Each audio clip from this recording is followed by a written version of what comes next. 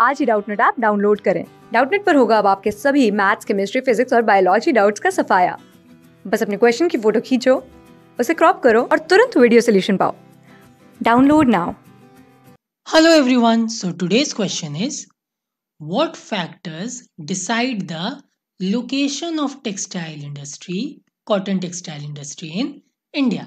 तो यहाँ हमें क्वेश्चन पूछा जा रहा है कि इंडिया में कॉटन टेक्सटाइल इंडस्ट्री का लोकेशन डिसाइड करने पर कौन कौन सा फैक्टर्स को ध्यान में रखा जाता है? कौन कौन सा फैक्टर्स डिसाइडिंग फैक्टर्स होते हैं?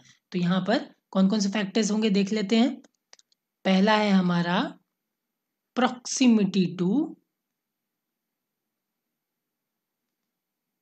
water बॉडीज ठीक है? वाटर का इजिली जो है यहाँ से यूज़ हो सकता है और वाटर ट्रांसपोर्ट इजी हो जाएगा। इसीलिए प्रॉक्सिमिटी टू वाटर बॉडीज ज़रूरी है। ना second is close proximity to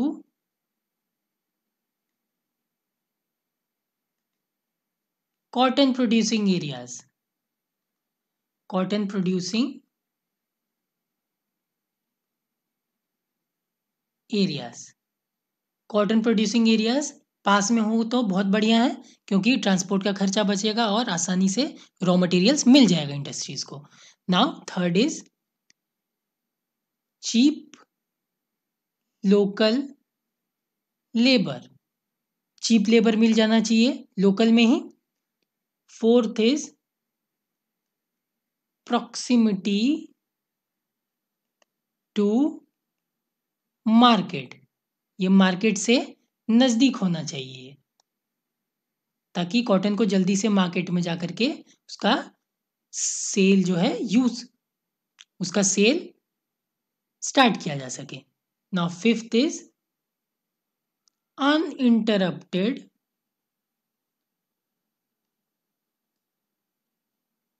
power supply ठीक है? पावर सप्लाई कंटिन्यूस होना चाहिए, बिना रुके। ताकि टेक्सटाइल इंडस्ट्री चलते रहे without any interruption now another factor is easy transportation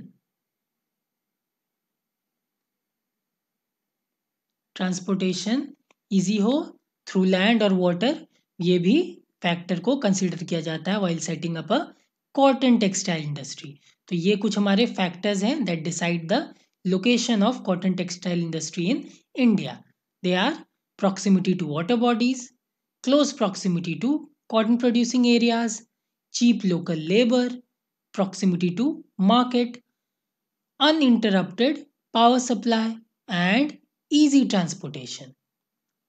Thank you. Class six से ट्वेल्थ से लेके NEET I I T JEE Mains और एडवांस के लेवल तक दस मिलियन से ज़्यादा स्टूडेंट्स का भरोसा आज ही डाउनलोड करें डाउट नेट आप या व्हाट्सअप कीजिए अपने डाउट्स आठ चार सौ चार सौ चार सौ पर।